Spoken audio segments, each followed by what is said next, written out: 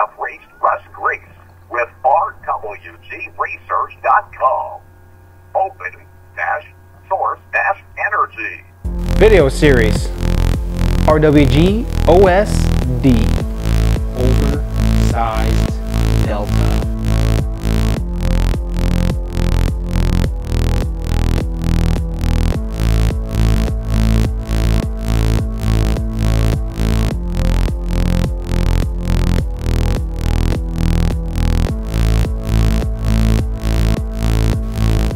Welcome back everybody. It's a new day. I think it's the 20th.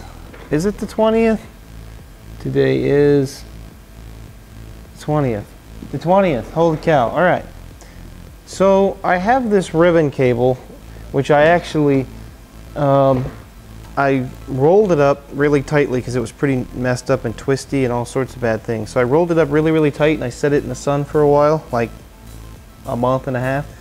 And then I unrolled it and set it in the sun for like a month and a half in my windowsill. So these wires are pretty well flat and straight and a little bit easier to work with. If you buy it new, it's fine. Um, so I also, like I said, peeled off in the, the wire here with this shielded stuff. So what I'm going to do is I'm going to actually wrap this wire inside of here like this. Okay, and then I'm going to actually do that with two of these. So I'm going to be able to get 20 wires and a bundle of of uh, of this regular wire up into that channel. It's going to be a tight squeeze. I think what I'm going to do is just use some tape and tape this and then actually put a string through here and pull it. Now I also went ahead and put Kapton tape in here around that corner just to give a little extra protection in case uh, something happens.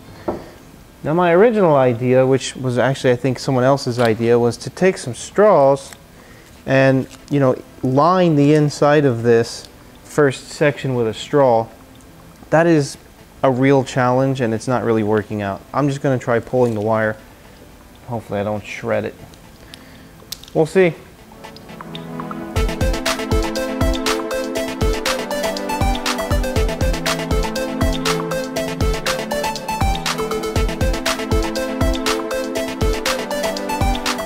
Well, I'm finding out that I can fit two of these in there, but it's going to be a challenge. These have to be perfect. And if they're not, I don't think it's going to work. So I originally taped the ends and then I just put a tiny little piece of tape every so often because this seems to wrap perfectly around the center wire. Then I'll do the same thing for this wire, just tape it lightly and I think the tape is thin enough that we'll be okay. As long as it doesn't get pulled off while I'm pulling it through. That can be a potential problem. But really I just need this to stay in place while I pull it through and after that it can untape itself. Just needs to stay perfect because if this gets in a twist, you know, or something like this, it ain't gonna work. So we'll keep going with this idea and see if it works. Actually it's pretty stiff because uh, because this wire when you bend it, you know, it doesn't have any any motion the other direction. Oh boy.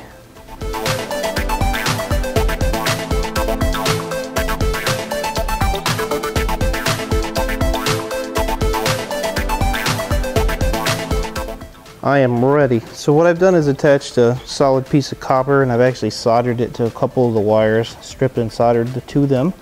Taped that bundle nicely. And then I just went ahead and left this guy loose. I think I can feed it through there and make it work just fine. It's just the other bundle I have to sort of make sure it stays because doing both or all three at the same time is a challenge. Now I'm also going to use a little soapy water here and uh, put just a little bit as I go because that'll go a long way. Tiny little lube helps out tremendously. Listen to them all and sing. Find a world you've never been. To inspire you, let your dreams come true.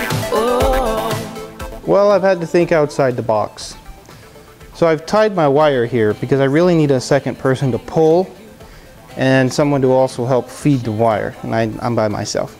So I've tied the wire to a screw that I screwed into the side of the cabinet. Luckily we don't have the sides on this side yet like the diamond plate on that side and um, I soldered all of the wires all of them in this bundle to the small copper wire, which apparently needs to be a little bigger because I actually broke it. Thankfully, it's right here and I think I can grab it with some pliers. So I moved this, as you saw, I moved this as that stayed in place so I could actually pay attention to what, what happens here. So anyway, let's try to feed the rest of this wire through. This is not an easy task, but I want as many wires as I can get in there, so I gotta do it this way.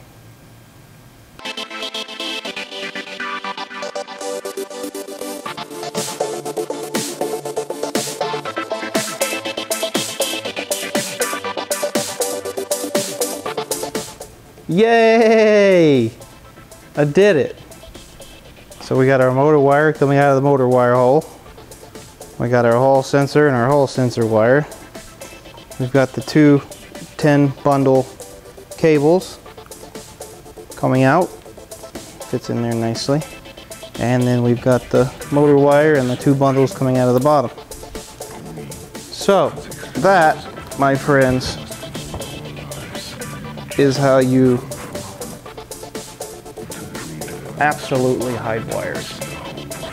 So you can look all the way around the channel and the channel's all open and you're like, hmm, how did you do that? Yeah. Slick. Challenging. Uh, but we got it. Now we got two more to do. Now the third one's actually going to be a little different. We're going to have, uh, we're going to have, remember, two motor wires, one for the extruder. And so I'll, I'll put another one of these together and call that one leg. That way we got 40 wires going up to the top. That should be plenty for everything we need, um, I think. And then I'll try to put two of these bundles in a single one, and if I can fit five more wires, then I'll put five more wires in there. Just the more I can get in there, the better. Whew, all right.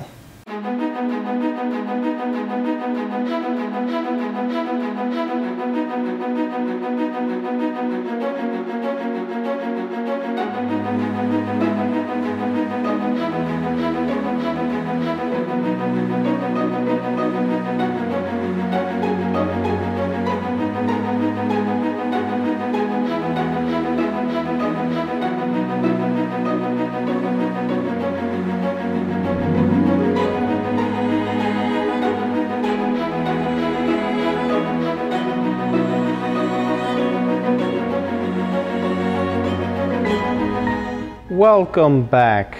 So we've got all the beams except for this one done. And this one's going to be a little different. The other one had the ribbon cable, had this cable for the motor. But this one's going to have power cables and heavier cables for the heating element and um, an extra set of cables for the motor and then probably a power supply. I'll just make a main rail power coming up instead of using a bunch of these little ones. That'll allow me to really be versatile with 20 extra wires in there on all the signals and stuff that I need. So I've got some different kind of wire. This is unshielded wire. It's all I could find. This shielded wire that I was using for my motors, I only have so much of this. So I think what I'm going to do is shield the power wires I'm putting in here and unshield the motor wires. Kind of do it in reverse because I only have so many of these wires with shielding on it. Look through everything I had and I couldn't find anything and all this stuff and all the stuff I got at home.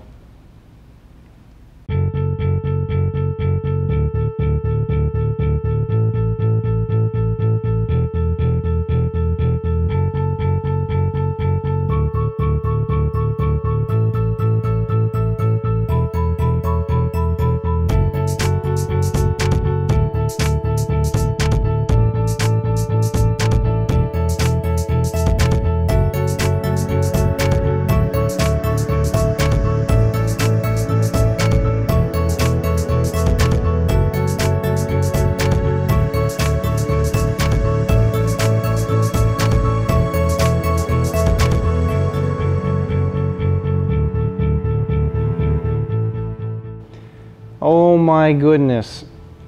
Took me over an hour to get these wires in here. So basically I was able to pull in all of these. This is eight. Oh, hi. Camera's a little loose, huh?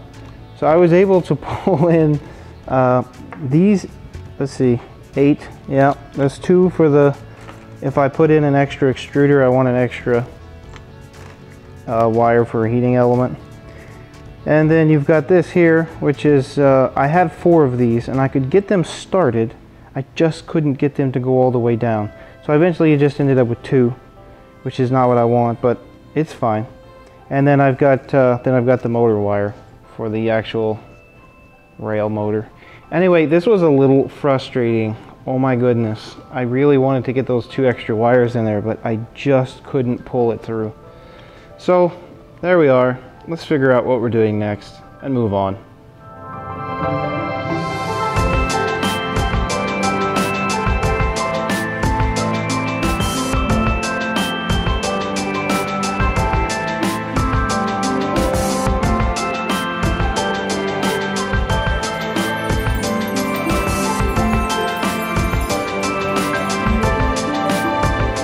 Oh, wow. Well, things worked out fine. I got them done. Here are the three arms completed.